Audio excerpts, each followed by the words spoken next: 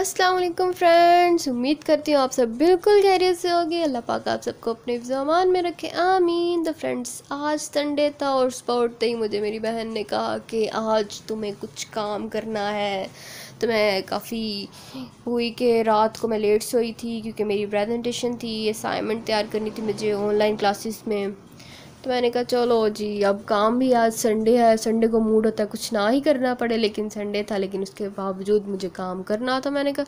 पहले मैं थोड़ी सी हुई मूड बना के, यार, आज काम नहीं करना। लेकिन फिर मैंने कहा, चलो करते हैं, काम ही है ना।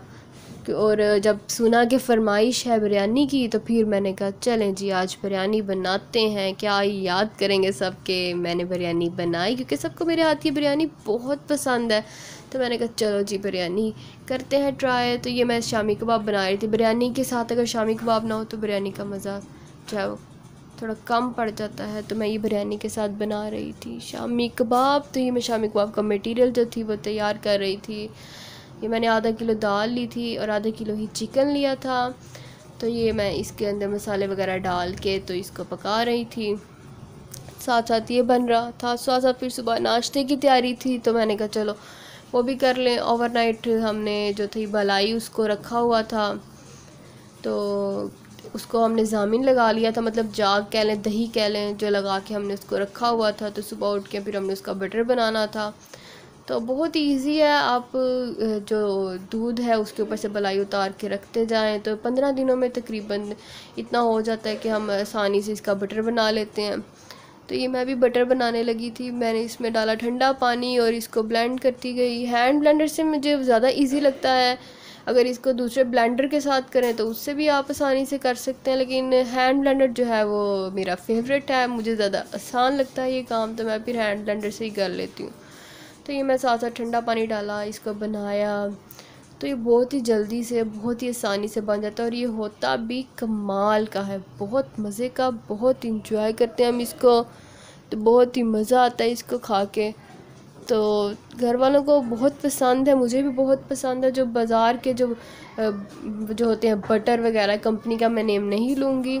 तो मुझे वो इतने ज़्यादा अच्छे नहीं लगते जितना ये मुझे पसंद है। ये घर का जो होता है, ये कमाल का होता है। इसकी जो लस्सी होती है, ये कुछ लोग लगाते हैं सर पे, कुछ लोग इसकी कड़ी भी बना लेते हैं, कुछ लोग शायद। तो हमारे घर में ये काम नहीं होते, हमारे घर में ना पी जाती है, ना कड़ी तो हमारे घर में इतने शौक से कोई भी नहीं खाता मेरे अलावा। तो कड़ी जो थी, वो भी हम नहीं बनाते तो हम फिर ये किसी को भिजवा देते हैं कि अगर कोई बनाना चाहता है तो फिर वो बना लेता है कोई। तो हमारे घर तो नहीं बनता, ये बटर बन गया था, फिर सबने इसी का नाश्ता किया। तो फिर नाश्ता जो था वो लेट हो गया तो इसके लिए फिर रात, शाम को फिर हमने बिरयानी खाई। तो बिरयानी का भी साथ साथ मैंने का काम करती जाऊँ। नाश्ते के बाद मैंने बिरयानी का काम किया। मैंने जो चिकन था, ये मैंने मैरिनेट किया। हाफ़ के जी मैंने चिकन लिया था और हाफ़ के जी मैंने चावल लिए थे। तो ये मैं चिकन जो था, इसको मैं मैरिनेट करने लगी थी। इसमें मैंने जो लहसुन और प्याज था, उसको अच्छे से मैंने जो था वो, उसका पेस्ट बना लिया था। तो वैसे तो आप इसको प्रोसेसर में भी पेस्ट बना सकते हैं, लेकिन मुझे ज़रा अच्छा लगता है कि जब उसको हम जो क्या कहते हैं उसको चकने बेलने से, नहीं बल्कि चट्टू फट्टे से हम उसको पेस्ट बनाते हैं तो मुझे वो ज़्यादा अच्छा लगता है। तो ये टमाटो प्यूरी थी। टमाटो प्यूरी बनाना बहुत आसान है, आप कहेंगे तो मैं बता दूँगी आपको बनाना। अगर आपके पास टमाटो प्यूरी नहीं है तो इजीली आप टमाटर लें, उसको पेस्ट बना लें। उसके छिलके ज़रूर उतारिएगा। और फिर मैंने इसमें डाला डाला दही। ये थी फ्राइड प्याज अनियन तो अगर आपके पास फ्राइड अनियन नहीं है तो आप इसको फ्राई कर लें। बहुत ही आसान है इसको फ्राई करना। आप इसको इजीली फ्राई कर सकते हैं। आप कहेंगे तो मैं आपको ये भी बता दूँगी कैसे फ्राई करते हैं? It's so simple so easy और ये जब इसका टेस्ट है, वो कमाल का बन जाता है बिरयानी में जाके। तो मैं तो ज़रूर यूज़ करती हूँ फ्राइड प्याज बिरयानी में। तो आप भी ज़रूर यूज़ किया करें। तो जी, मैंने फिर इसमें डाले मसाले वगैरह सॉल्ट पेपर और सारे ये मैंने चिली और गरम मसाला वगैरह, ये सब कुछ मैंने इसमें ऐड किया। रेसिपी जो रेसिपी जो है वो मैं आपको बताऊँगी ज़रूर इन ताला, पर अलग वीडियो में। तो अभी मैं सिर्फ़ ऐसे ही आपको बस बता रही हूँ, साथ साथ मैंने कहा चलें, आज आपसे कुछ बातें वगैरह करते हैं, कुछ, हम इंजॉय भी करते हैं। मैंने पिछली वीडियो तो जी, ये सारे मसाले मैंने डाल लिए थे। अब मैं इसको मैरिनेट करना था। इसमें मैंने चाट मसाला भी डाला था। तो इसको अच्छे से मैरिनेट करेंगे हम। इसको मैरिनेशन जो है, वो अगर हम करके रख दें तो ये इसको जो है ना, बिरयानी वो बहुत ही बहुत ही जायकेदार बनती है। अब इतनी टेस्टी बिरयानी बन जाती है ना कि बहुत ही ज़्यादा घर वाले खुश होते हैं और जो खाता है उसको बहुत ही पसंद आती है। तो आप ज़रूर ट्राई कीजिएगा इन आप भी बनाएँगे तो सबको बहुत ही ज़्यादा पसंद आएगी। तो ज़रूर आप भी बनाइएगा बिरयानी। तो ये मैं बिरयानी साथ साथ बना रही हूँ। साथ साथ वो जो चिकन वो जो था काम शामी कबाब वगैरह का काम था, वो भी पीछे हो रहा था। तो इसको मैंने कहा, चलो, इसके अंदर मसाले वगैरह डाल के सारा मैरिनेशन करते हैं। इसकी मैरिनेशन की, फिर इसको भूनने का काम था, लेकिन मैंने कहा, चलो, उतनी देर तक ये हो जाएगा, जब तक मैं फिर साथ साथ शामी कबाब का काम कर लूँगी। साथ साथ आपको काम करना पड़ता है, सब कुछ मैनेज करना पड़ता है। अगर आपके सर पे ड्यूटी हो, आपकी ड्यूटी हो तो। तो जी, मुझे भी आज ड्यूटी मेरी थी। मेरी आज संडे था और मुझ पर डाल दिया गया था। तो मैंने कहा, चलो, आज फिर हम करते हैं काम वगैरह। तो जी, मैं काम कर रही थी, फिर सारा मैंने किया। तो ये शामी कबाब का मटेरियल भी तैयार हो गया था। बहुत ही, ये भी बहुत ही अच्छे बने थे। हमेशा ही, अल्हम्दुलिल्लाह, बहुत अच्छे बनते हैं। ये, इसकी रेसिपी मैं अलग से आपको ज़रूर शेयर करूँगी। तो इसमें मैंने मसाले वगैरह डाले चिकन को अच्छे से श्रेड कर लिया। तो इसमें मसाले वगैरह ऐड किए और फिर इसमें मैंने डाला ब्रेड क्रम और पटैटोज़ वो भी ऐड कर लिए। तो बहुत ही मज़ा आया, बहुत ही अच्छे बन गए थे, बहुत ही ज़्यादा यमी थे। आप भी ज़रूर ट्राई कीजिएगा। तो साथ साथ जो थे, मैं अपनी असाइनमेंट बना रही थी। यहाँ से जाती थी असाइनमेंट थोड़ा सा काम करती थी, फिर यहाँ थोड़ा जो आती थी, फिर ये करती थी। बस इसी तरह मैं लगी रही दोपहर तक और गर्मी तो इतनी शदीद थी ना कि बहुत हद हो गई थी। आज तो यूँ लगता था जैसे पता नहीं कैसी गर्मी पड़ रही है। तो लेकिन अब अलहमदिल्ला शाम होते होते मौसम बहुत ही मज़े का हो गया है। हवा चल रही है, बादल जो हैं वो भी गरज रहे हैं। बरस भी जाएँगे, उम्मीद है। तो चलें जी, ये मैं सारा इसको मटेरियल को मिक्स कर रही थी। फिर मैंने कहा, चलो अब, बिरयानी का जो मटेरियल है, उसको भी साथ साथ बना लें ये मैंने ऑयल लिया था, ये ऑयल जो था, मैंने इस पर पहले फ्राई किया था प्याज को तो अब मैं इसी ऑयल में जो है, वो चिकन का जो मसाला है, वो भूनने लगी थी चिकन को भूनने लगी थी। तो पहले मैंने इसमें डाला थोड़ा सा ज़ीरा और कड़ी पत्ता तो ये मैंने डाल के इसको अच्छे से पहले थोड़ा सा क्या कहते हैं, इसको ब्राउन किया। थोड़ी सी इसकी जब खुशबू सी आई फ्रेगरेंस तो फिर मैंने इसमें ऐड किया चिकन को। तो जी आप भी ये जो मैंने तरीका किया, आप इसको फॉलो कीजिएगा। मैं रेसिपी जब आपको शेयर करूँगी, ये बहुत ही मज़े की बिरयानी बनती है। इसको आप खुशबू वाली बिरयानी कह सकते हैं, इसको आप मसालेदार बिरयानी कह सकते हैं, इसको आप स्पेशल रेस्टोरेंट टाइप बिरयानी कह सकते हैं। ये बहुत ही टेस्टी होती है बहुत ही इसका मज़ा आता है और ये रेसिपी जो है ये मैंने हम्म, ये रेसिपी मैंने बहुत ही ज़रा मुश्किल के साथ इन्वेंट किया क्योंकि मैं आपको बता चुकी हूँ मुझे जो बिरयानी है वो पहले नहीं बनानी आती थी। बिल्कुल भी बिरयानी मैं अच्छी नहीं थी बनाती। मैंने इसको इतनी दफ़ा ट्राई किया इतनी दफ़ा ट्राई किया कभी कोई तरीका कभी कोई तरीका। फ़ाइनली मुझे एक तरीका मिल गया। मैं फिर अब इसी तरीके से बनाती हूँ बिरयानी। ये मैंने खुद से इन्वेंट किया सारा तरीका और ये अब बिरयानी जो है बहुत टेस्टी बनती है। तो आप भी इसी तरीके को फॉलो करते हुए बिरयानी बनाइएगा। बहुत ही आपको अच्छी लगेगी, आपको फ़ील होगा कि ये जो बिरयानी है, या आपने पहले कभी नहीं बनाई और ना ही कभी खाई है। तो आप इसको ज़रूर ट्राई कीजिएगा। अगर आप बहुत ही अच्छी बिरयानी बनाते हैं, फिर भी आप इसको एक दफ़ा ज़रूर ट्राई कीजिएगा। मुझे उम्मीद है कि ये बिरयानी जो है, अगर आप बहुत अच्छी बिरयानी बनाते हैं, तब भी आपको ये बिरयानी जो है, एक नए लेवल की बिरयानी लगेगी। आप इसको बनाएँगे तो आपको बहुत ही मज़ा आएगा खाने में और बनाने में भी। तो ये जी मैं इसको बना रही हूँ मैं इसमें डाला था बिरयानी मसाला। कोई भी आप बिरयानी मसाला डाल सकते हैं, मैं किसी बिरयानी मसाले का ऐड बिल्कुल नहीं दे रही, आप कोई भी बिरयानी मसाला डाल सकते हैं। तो जी, आवाज़ आ रही होगी, बादल जो है वो गरजना शुरू हो गए हैं, और ज़ोर और शोर से। तो मैं ज़रा साइड पे लॉन्ड्री में बैठ के ये कर रही थी तो इस वजह से बिल्कुल ये आवाज़ आ रही होगी आपको। हमें वॉइस ओवर करने के लिए भी ज़रा साइड पे होना पड़ता है, लेकिन फिर भी कोई ना कोई हो जाता है, बीच में गड़बड़। तो उस गड़बड़ को आप छोड़ के तो ज़रा अगले की मेहनत को ध्यान दिया करें, और उस मेहनत का ज़रा आप इतना सा किया करें कि आप वीडियो को लाइक कर दिया करें शेयर कर दिया करें। और अगर चैनल को सब्सक्राइब नहीं किया तो काइंडली सब्सक्राइब कर दें। और अगर कर ही दिया है सब्सक्राइब तो बेल आइकन को तो ज़रूर दबा लें। तो ये जो बिरयानी का जो है, ये प्याज, ये मैं अलग से ब्राउन करती हूँ इसको। मैं मसाले के अंदर इसको पहले से ऐड नहीं करती, मैं इसको अलग से ब्राउन करती हूँ। इसके बाद मैं इसको मसाले में डालती हूँ। तो मैं अभी इसी तरीके से बना रही हूँ। ये मैं अच्छे से इसको ब्राउन करूँगी। बहुत ज़्यादा, मैंने इसमें ऑयल नहीं डाला। अगर मुझे इसमें थोड़ा बहुत ऑयल चाहिए था तो मैंने जो बिरयानी के अंदर जो ऑयल था, वही मैंने इसके अंदर जो है वो डाल लिया थोड़ा सा। ज़्यादा ऑयल हम इसमें डालेंगे ही नहीं। साथ में मसाला जो था वो पक रहा था और ये साथ साथ मैं इसके अंदर जो है प्याज को भी करती जा रही थी। तो मसाला अलग से बन रहा था जो चिकन था उसका। तो ये अलग से मैं कर रही थी।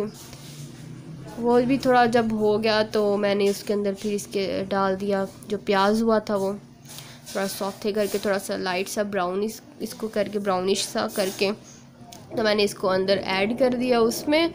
तो फिर मैंने उसको भून लिया, उसको हम कम अज़ कम उसको आपने भूनने के टाइम ना पानी ऐड करना है। अगर आपको कुछ ऐड करने की बहुत ज़रूरत पड़ ही रही है तो आपने उसको हल्की आँच पे करके तो दही डाल के जो है उसको बिल्कुल आपने हल्की आँच पे उसको दही डाल के भूनना है। तो ये चावल लिए थे मैंने आधा किलो आधा किलो सॉरी या आधा किलो। तो आपने आधा किलो चावल लेने हैं और आधा किलो ही चिकन लेना है। क्वांटिटी जो है बराबर रखनी है। तो इसके बाद ये मैं फिर पानी जो है वो बॉईल करने लग। गई चावल मैंने कहा इसमें उबाल लूँ तो मैंने नमक डाला। तो ये मैं चावलों में नमक डाल के डाला मैंने। आप अपनी अकॉर्डिंग डालें नमक। आप जब भी किसी की रेसिपी देखें, आप चाहे मेरी देखें, किसी और की देखें, अपना आपने ज़रूर जो है फॉलो करना है, अपने घर वालों के टेस्ट के अकॉर्डिंग अपने टेस्ट के अकॉर्डिंग आपने ज़रूर उसके अंदर चीज़ें डालनी है। आपने कभी भी किसी को फॉलो करते हुए जो है रेसिपी को नहीं बनाना, आपने उसके स्टेप्स को फॉलो करना है। आपने लेकिन उसके इंग्रेडिएंट्स जो हैं, उसको एज इट इज़ फॉलो नहीं करना कि अगर उसने एक चम्मच नमक डाला है तो आप भी एक चम्मच डालें। अगर हो मे भी हो सकता है आपके घर में आधा चम्मच खाया जाता हो और आप एक चम्मच डाल के अपनी जो बिरयानी है उसका हाल बेहाल कर लें, आपके घर वालों को वो टेस्ट पसंद ना आए तो आप अपने अकॉर्डिंग डालें। तो बिरयानी के अंदर मैंने जब पानी बॉयल किया, इसके अंदर मैंने डाला है सिरका। मेरे पास था एप्पल साइडर जो वाइट सिरका था वो इस टाइम मेरे पास अवेलेबल नहीं था तो मैंने ये डाल दिया, आपके पास वाइट है तो वाइट डाल लें। जो सिरका है आप डाल लें तो ये जो चावल हैं, इतने कमाल के बनते हैं। इतना अच्छा टेस्ट आता है आपने ये सिरका जो है ज़रूर ऐड करना है। ये चावल मैं फिर इसके अंदर बॉईल कर रही थी।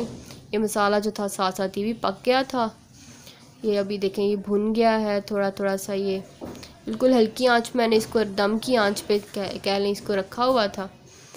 और इसको बिल्कुल पकता जा रहा था ये साथ साथ ना मैं इसको हिला रही थी ज़्यादा कि जो चिकन है वो टूट जाए। चिकन को भी नहीं, ध्यान से बिल्कुल करना है। ये पानी मैंने इसका ड्रेन कर लिया। तो अब मैं इसकी लेयरिंग करूँगी। लेयरिंग करने का सिंपल वही तरीका एज एज़ ऑलवेज़ के जो हमेशा से हम करते आ रहे हैं। पहले एक लेयर चावलों की, उसके ऊपर मैंने डाला सालन, जो बिरयानी का जो मसाला था वो डाला। फिर उसके ऊपर दोबारा से चावलों की लेयर लगाई।